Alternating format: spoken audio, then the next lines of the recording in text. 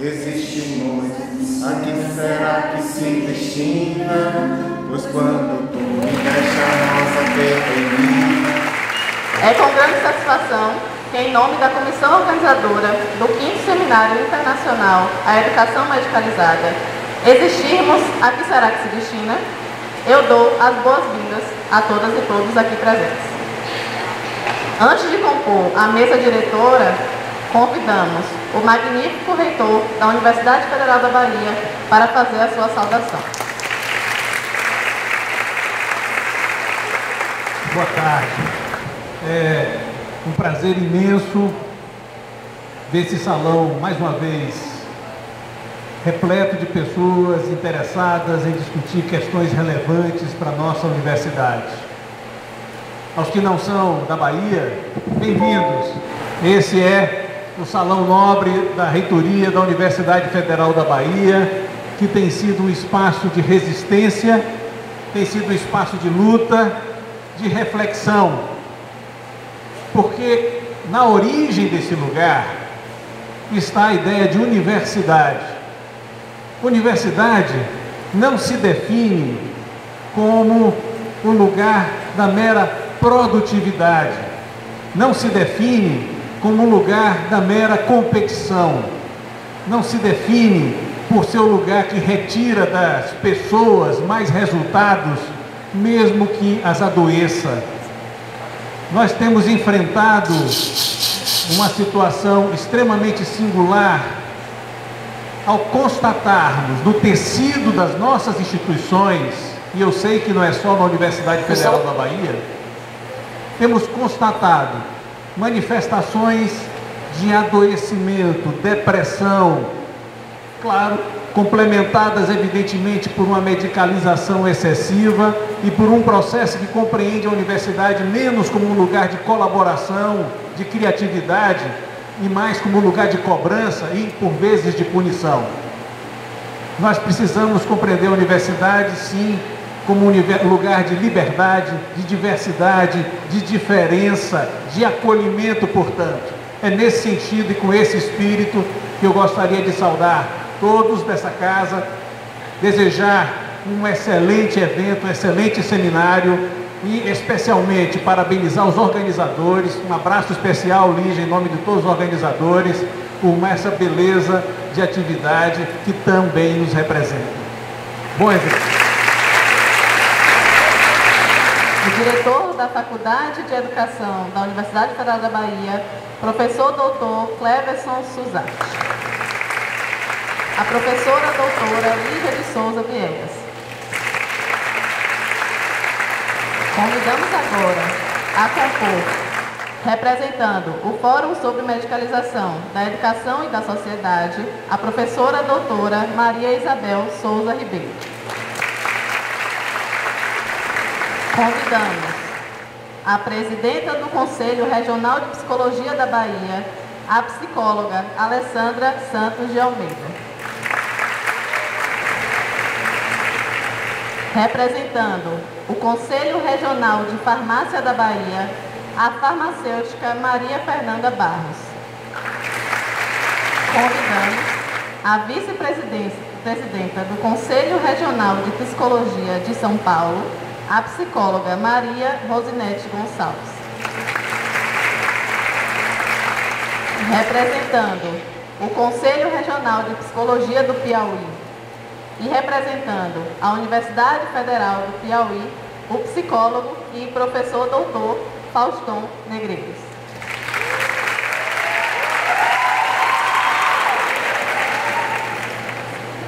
Representando a Universidade Nacional de Colômbia, o professor doutor Jorge Humberto Marques. Representando a Associação Palavra Criativa, a professora doutora Lúcia Mazini. Representando um dos contribuidores da nossa vaquinha para arrecadar fundos para o evento, Kirlia.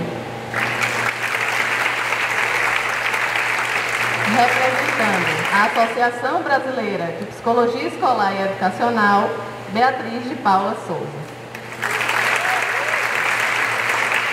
Com a palavra, o diretor da Faculdade de Educação, Cleverson Suzarte, para fazer a abertura oficial deste evento e a sua saudação.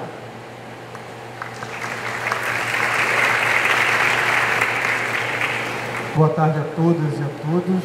Quero cumprimentar minha querida amiga, colega Lígia Viegas, parabenizar desde então pela organização do evento, Lígia, Isabel, Elaine, Tito, Hélio, enfim. É, falar nomes é meio complicado porque a gente pode incorrer no, no equívoco de não falar todos os nomes, mas acho que esses nomes são bastante representativos de todos vocês que, que organizaram e organizam sempre esse evento. A Faculdade de Educação se sente muito feliz e fica orgulhosa de ter ser, mais uma vez, o quinto Seminário Internacional de Educação Medicalizada. Num momento como esse que estamos, como bem falou o magnífico reitor, enfrentando uma série de adversidades, um evento como esse fortalece a universidade pública gratuita de qualidade e socialmente referenciada. É por isso que todos nós estamos aqui, por todos nós, todos nós lutamos por esse espaço enquanto espaço de fato, de fato democrático, plural, diverso e, acima de tudo, em prol de um projeto de nação emancipada. É com essas palavras que eu queria abrir o evento simbolicamente e passar a palavra a Lígia e agradecendo mais uma vez por esse evento. Muito obrigado pela presença de todos e todas.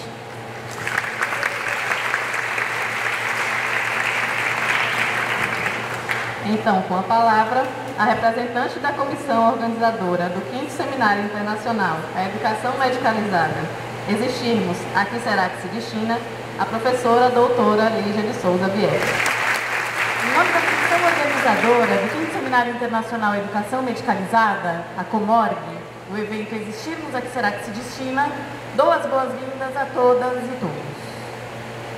Passados três anos desde nosso memorável último seminário, e ainda embebidos no movimento de desver o mundo e perturbar os sentidos, voltamos a nos encontrar em Salvador.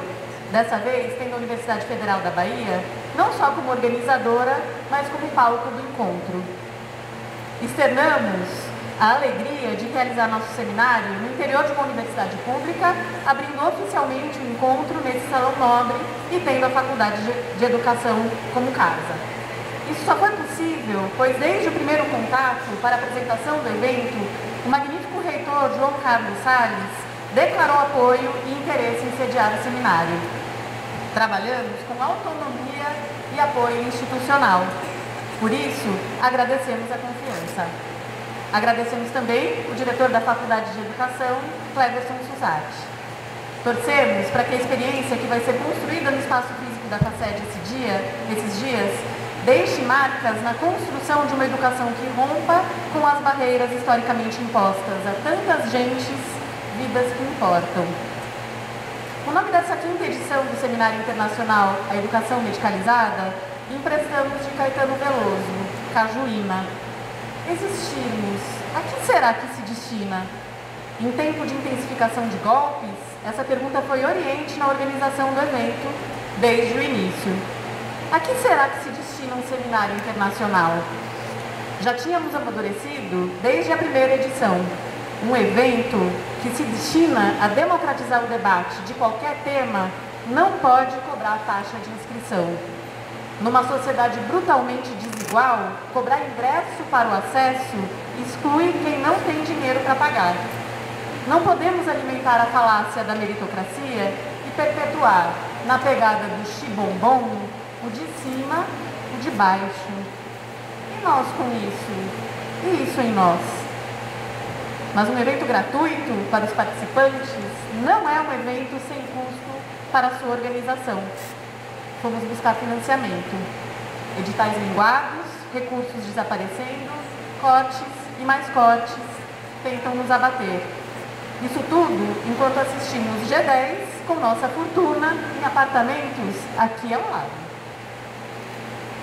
Não foi surpresa, pois esse fantasma nos assombra faz tempo, que a CAPES anunciou semana passada, em nota oficial, sua proposta orçamentária à luz do corte significativo de recursos que sofreu do governo federal. Gente, eu vou pegar essa canetinha para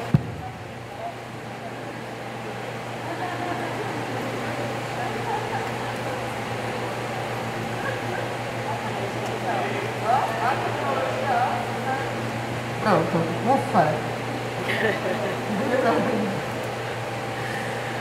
Na nota, a CAPES afirma a possível interrupção, a partir de agosto de 2019, do pagamento de todas as bolsas de mestrado, doutorado e pós-doutorado, e também do PIBID, PARFOR e residência pedagógica, atingindo quase 200 mil bolsistas. Nas redes sociais, denunciam o valor do corte, 300 milhões, é ninharia perto dos 900 milhões que sustentam o auxílio moradia de juízes imorais. E seguimos julgando equivocadamente. Não nos enganemos, a escolha da CAPES por cortar a totalidade das bolsas fala sobre o governo federal, mas fala também sobre as escolhas que a CAPES historicamente tem feito. Cortar impiedosamente pela base, extermínio dos de baixo. Os cortes também atingiram os editais de financiamento público para organização de eventos, que quase não foram lançados esse ano e tiveram os prazos de resultado sucessivamente adiados. Eles chamam de prorrogação, mas o correto é assumir que adiaram, não é mesmo? Prorrogar seria para submissão e não para o resultado. Enfim, cumprindo os prazos, submetemos o projeto em dois editais, da CAPES e CNPq. O resultado preliminar de ambos, antes do período recursal, indicou que não fomos contemplados. Os pareceres, no entanto, sempre elogiosos à proposta. Lemos com desconforto, em um deles, as seguintes frases. Abre aspas. O evento é relevante pela temática que é atual e importante, especialmente a ser discutida na perspectiva educacional, articuladamente a desigualdade de raça, gênero, dentre outras. O evento propõe uma discussão que vai além dos debates sobre inclusão e práticas pedagógicas escolares. Há que ser produzido conhecimento sobre a onda da medicalização e especialmente divulgado nas redes escolares e em diferentes segmentos da sociedade. O evento tem características interdisciplinares e a diversidade entre os participantes estrangeiros e pertinência de suas pesquisas e prática social como tema. Destaca-se como valor do evento sua gratuidade, o interesse em publicar anais eletrônicos, o livro e ter transmissão online, considerando, sobretudo, que o apoio solicitado visa apenas cobrir passagens e diárias. E pasmem, os recursos solicitados são adequados à programação, não sugerindo nenhum corte. Fecha aspas. Há mais elogios, mas não vamos tomar mais nosso tempo. O que destacamos é que, apesar de tantos elogios, não fomos contemplados. Novamente nos deparamos com a falácia da meritocracia, agora cortando na nossa carne e nos provocando coerência. O evento foi aprovado no mérito, mas devido à crise, não foi contemplado com financiamento. Vocês são ótimos, mas não vai rolar. Não aceitamos. A distribuição de recurso público é coisa séria, não pode ser feita de forma a sustentar contradições históricas, porque sempre foi assim. Apostamos na mudança, insistimos. 2018 tem sido o ano dos recursos. Se nos negam recursos sem justifica plausível, justifica, justificativa plausível, recorremos incansáveis. O recurso tem sido nosso único e último recurso. Até agora, não saiu o resultado final dos editais. Mas Maria, Maria que somos, misturamos alegria à dor e com estranha mania encontramos força, raça, manha, graça, gana e sonhos sempre. Criamos estratégias de resistência e enfrentamento, firmes no propósito de manter o seminário gratuito. Buscamos parcerias, por mais modesta que fosse, um empréstimo de coletes.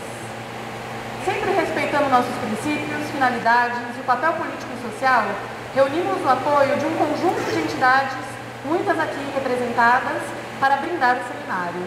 Nosso agradecimento público ao Conselho Federal de Psicologia, Conselhos Regionais de Psicologia da Bahia, Piauí, Rio Grande do Norte e São Paulo, o Conselho Regional de Farmácia da Bahia, a Universidade de Colômbia, a Universidade Federal do Piauí, o Núcleo de Apoio à Inclusão do Aluno com Necessidades Educacionais da UFBA, o Grupo de Pesquisa EPIS, a Associação Palavra Criativa, o Instituto Alana, a Associação Brasileira de Psicologia Escolar e Educacional, a produtora Casa das Máquinas e Edmília Barros, Produção e Mídia Social. Como tal apoio não foi suficiente para custear o seminário todo, cavamos outras estratégias. Na pegada da luta coletiva, sem a qual sabemos não mudaremos a vida, convocamos as pessoas que acreditavam e acreditam no nosso trabalho e luta a contribuir o pouco que fosse para construirmos juntos o evento. Em tempo de vacas magras, passamos a alimentar uma vaquinha na internet, no valor de 10 mil reais, ainda aberta a doação. Agradecemos a todos que puderam contribuir. Cada ajuda foi uma rosa, ainda que pequenina, foi essencial para garantir a realização do seminário. Além disso, parceiros toparam oferecer mini-curso, única atividade cobrada no seminário, e acreditem que no valor mais baixo possível. As propostas dos minicursos, todas afinadas ao que se destina o seminário, estão na pasta entregue no credenciamento. Para além de ampliar a formação, os minicursos ajudarão no custeio do seminário. A todas as pessoas professoras e inscritas que toparam esse corre, nosso muitíssimo obrigada. Por fim, contamos essencialmente com o apoio fundamental de muitas pessoas militantes do Fórum sobre Medicalização da Educação e da Sociedade, que mesmo sobrecarregadas, literalmente doaram horas de trabalho para que pudéssemos custear o seminário.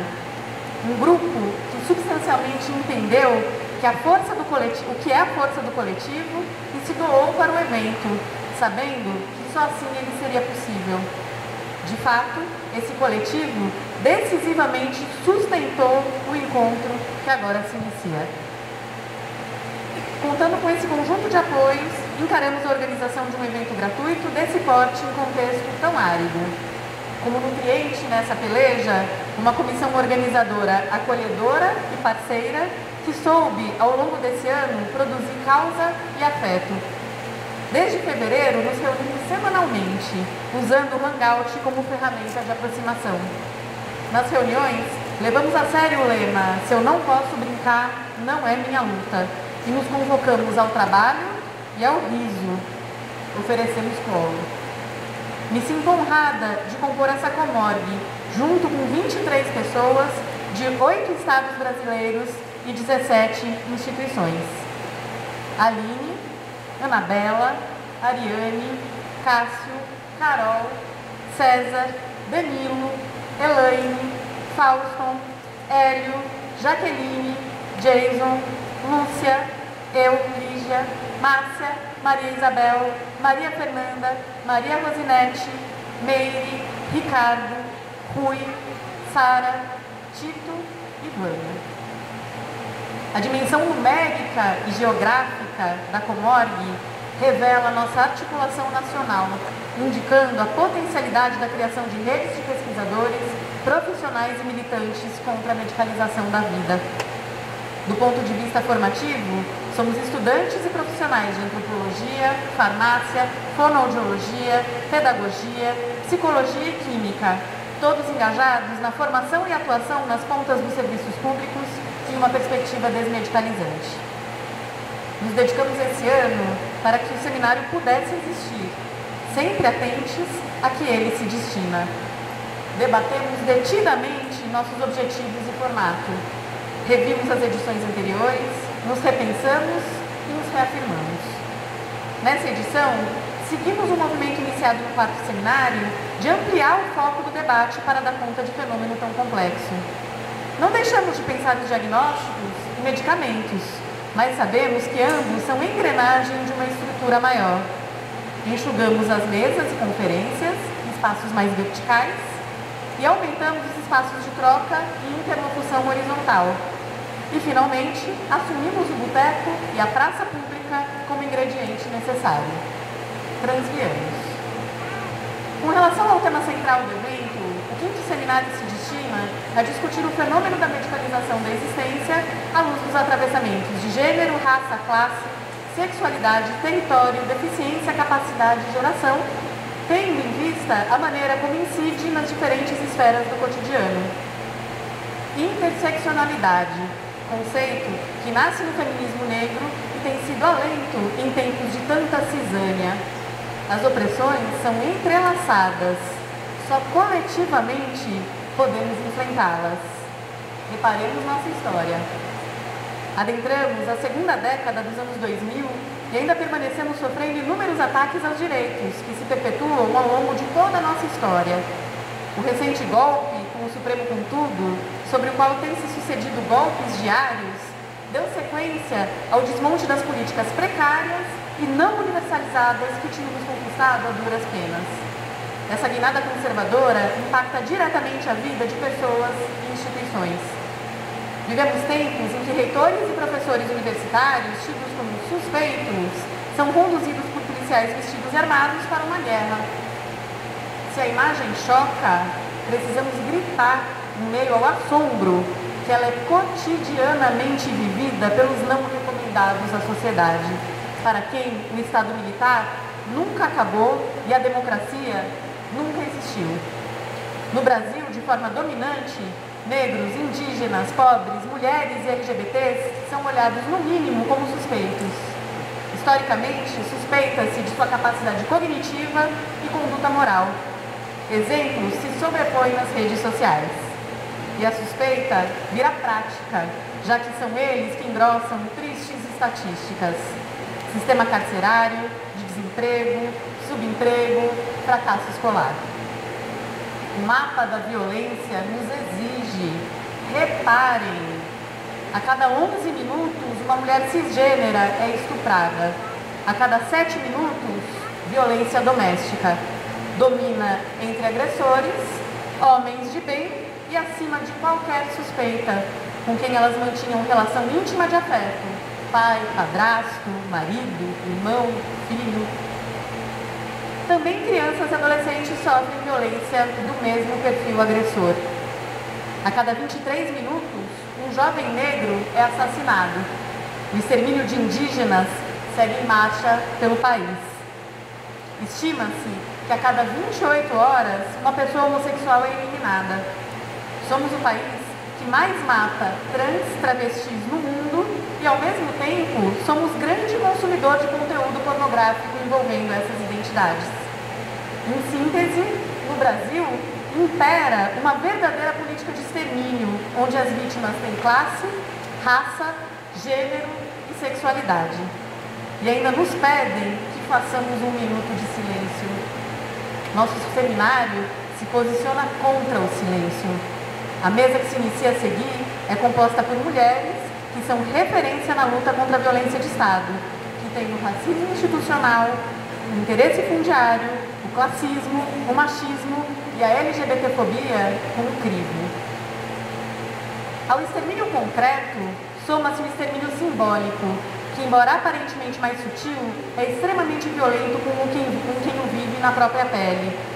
Em números absolutos, há mais de um milhão de crianças e adolescentes para quem as escolas ainda não abriram as portas. Há quem fale quase democratização do ensino, universalização do ensino o que não faz sentido para quem se orienta pelo princípio de que todas as vidas importam. E quem está fora? O mesmo perfil dito acima.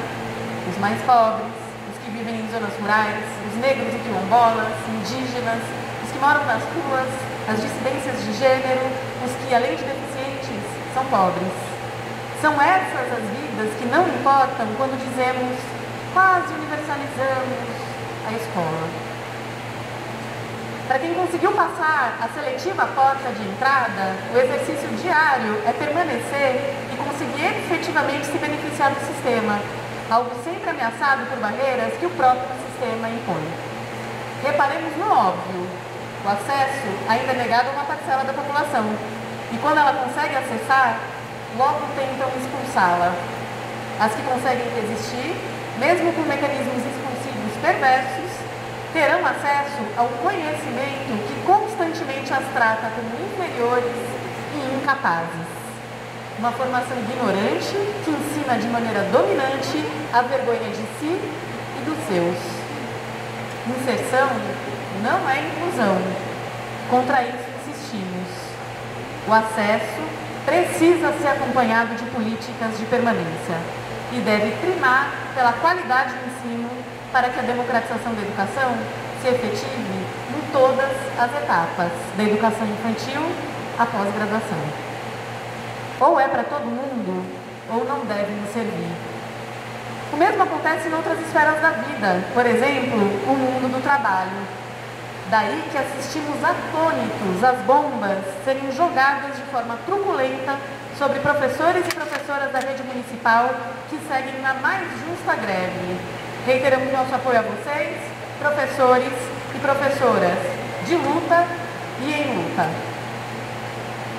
Ainda no campo da educação, é preciso falar do bizarro projeto Escola Sem Partido, que nada mais é do que a lei da mordaça, vinda de quem continuamente tenta impor goela abaixo uma escola sem pensamento crítico. O projeto está tramitando, mas sabemos que mesmo não tendo sido aprovado, ele vai ser votado hoje, inclusive, né?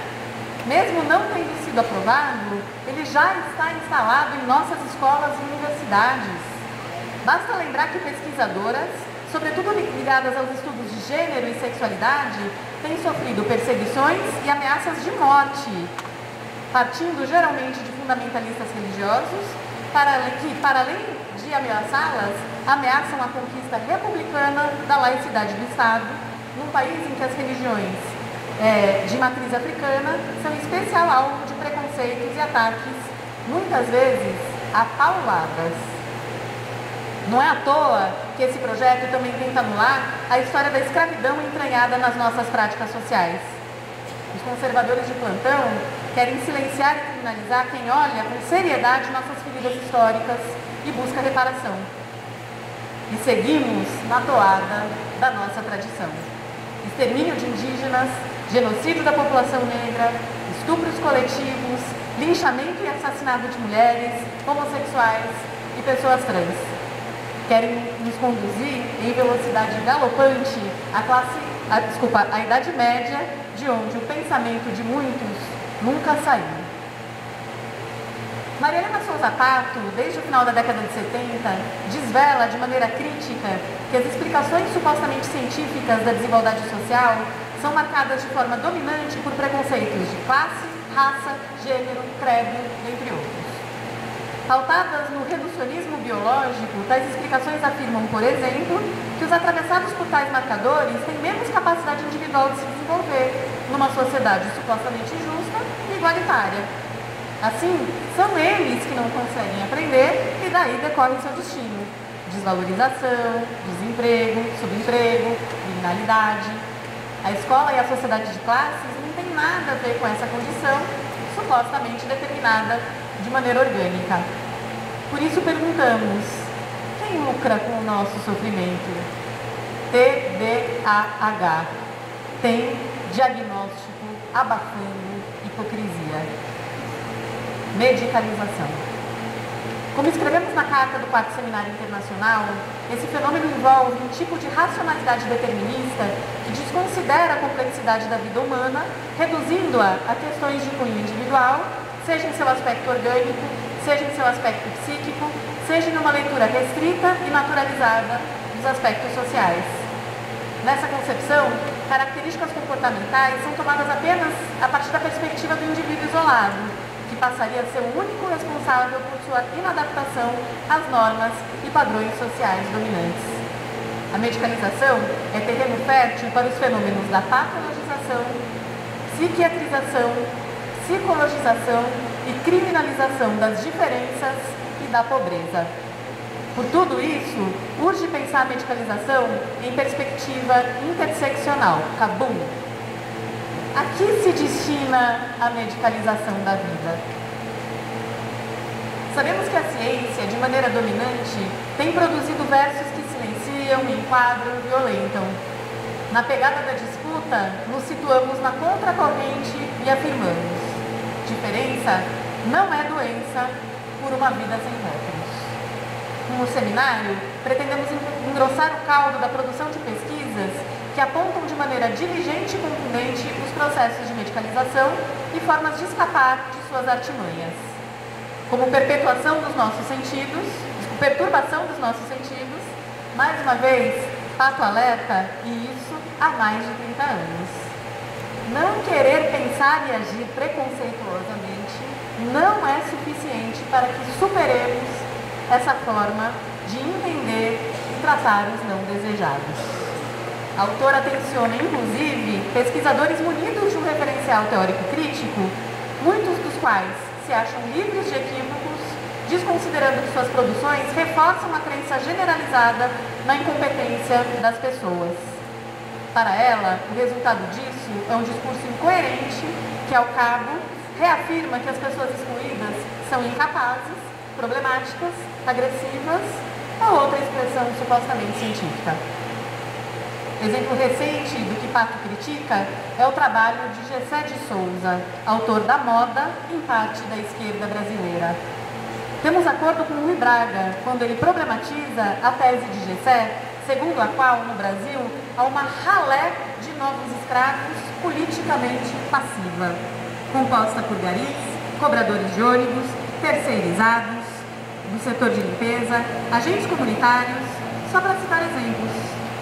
Para Braga, faltou na análise de Gessé compreender a força histórica e política dos subalternos no Brasil, que protagonizaram e ainda protagonizam muitas lutas sociais nas cidades e no campo. Isso desde o tempo da escravidão palavra que não pode ser desgastada em metáforas acadêmicas envoltas em exercício retórico para animar a plateia. É preciso desmedicalizar a visão, enxergar com olhos de ver e reparar.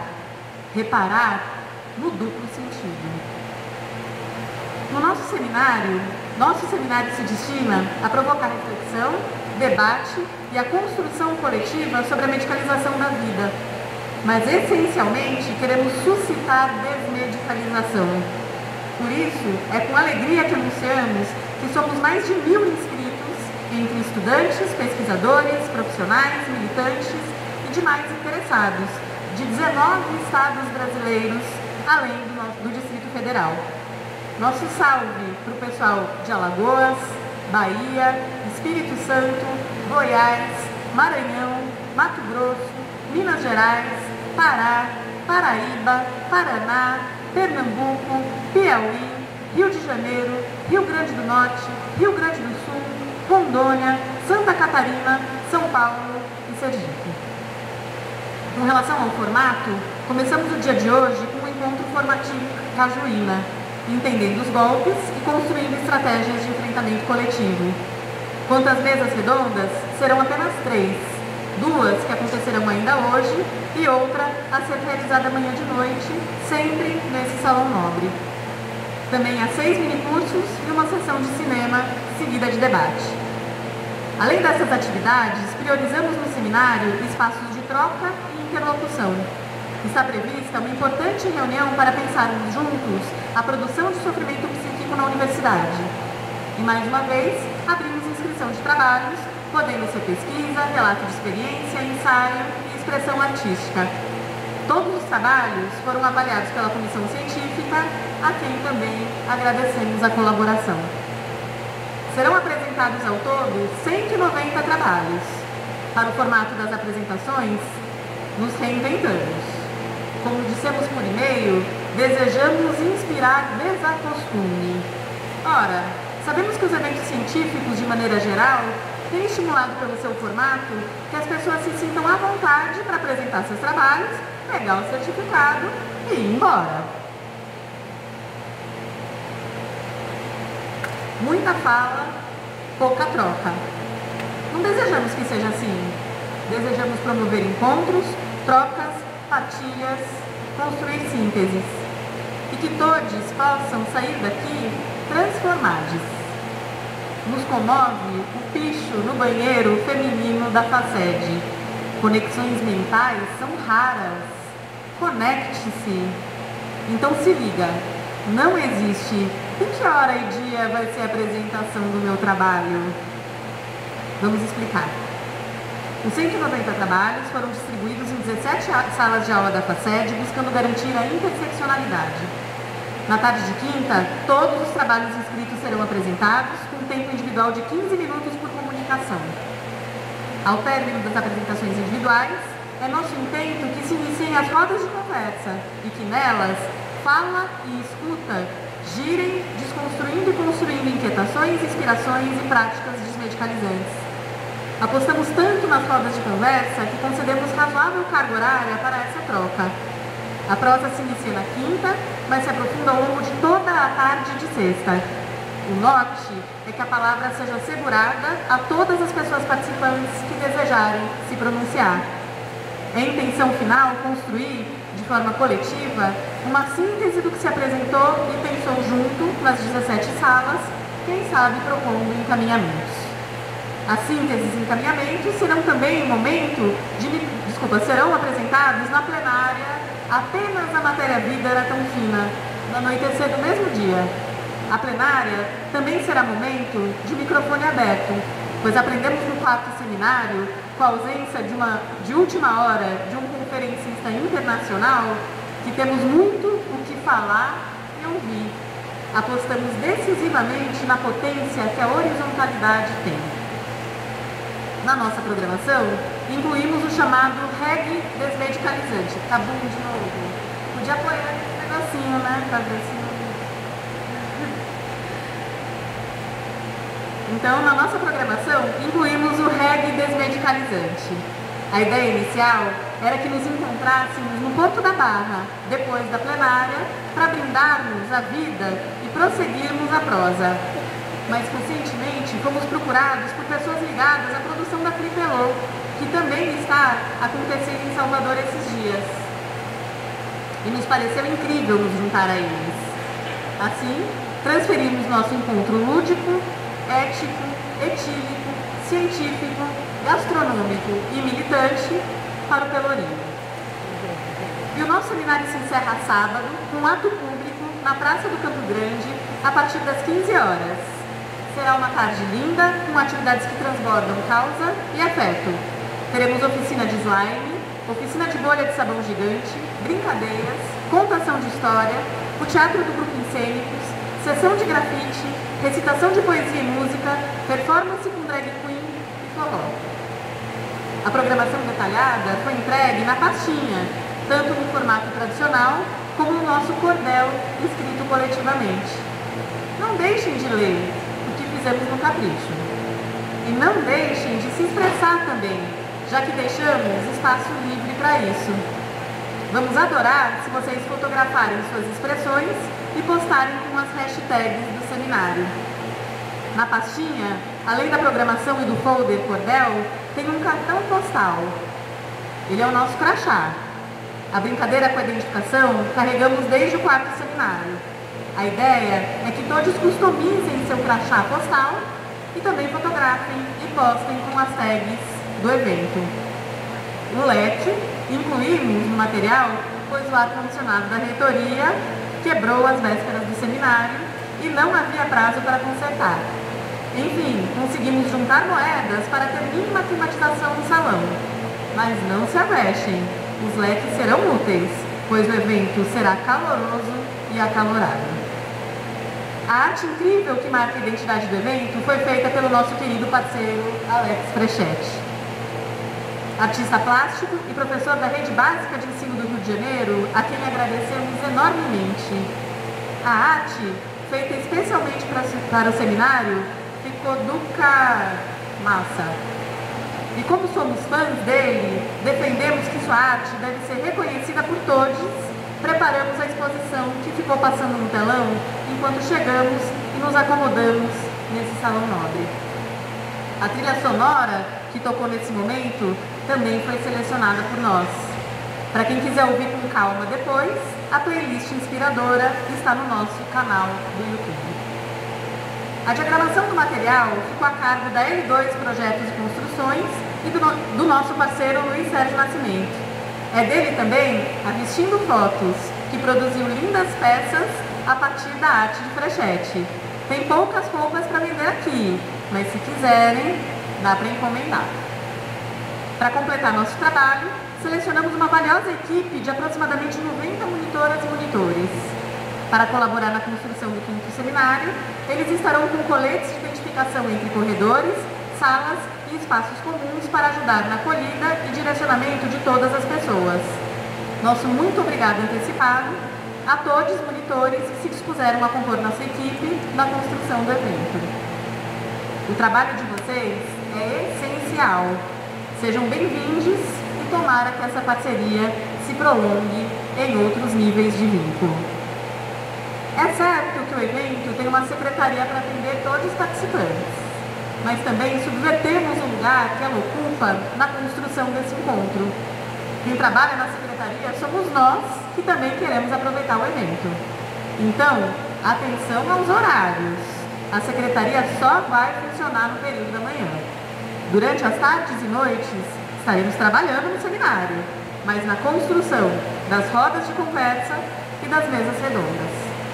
Assim, pedimos que todos se organizam, organizem, tenham solidariedade com a gente e, essencialmente, não se avexem, façam como nós, priorizem as atividades. E assim, finalizamos a composição do nosso quinto Seminário Internacional, a Educação Medicalizada, Existirmos, a que será que se destina? UFBA, Comorg, entidades apoiadoras, militantes do Fórum, palestrantes, professoras e professores de minicurso, doadoras e doadores da vaquinha, pessoas inscritas com ou sem apresentação de trabalho, monitores. Ubuntu, o seminário é o que nós somos. Enfim, termino essa fala explicitando nosso desejo de que nesses quatro dias possamos construir e fortalecer tensão, sem a qual não conseguiremos olhar o mundo que nos constrói, ver suas nuances e reparar seus descaminhos. Que o seminário sirva de alimento para o nosso já faminto desejo de mudança, para que possamos nutrir outras frentes de luta e que possamos encarar essas lutas inspirados na faixa que estendemos para o evento e que foi também impressa na releitura da fitinha do Bonfim distribuída no material do credenciamento. E também no picho, que fica logo na entrada da FACED. Esse sim, nosso verdadeiro cartão postal. Só a luta coletiva mudará nossas vidas. Coragem, amor. Coragem.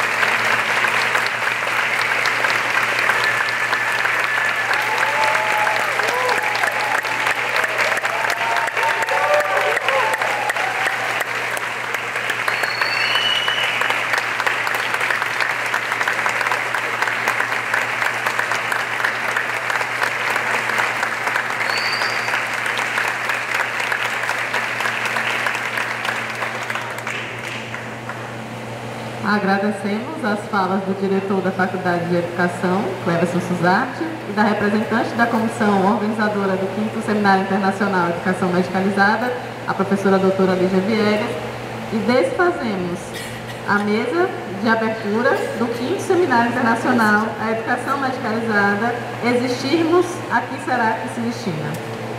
Antecipamos que, caso os componentes da mesa desejem participar das atividades, há lugares nas cadeiras doutorais deste auditório. Obrigada.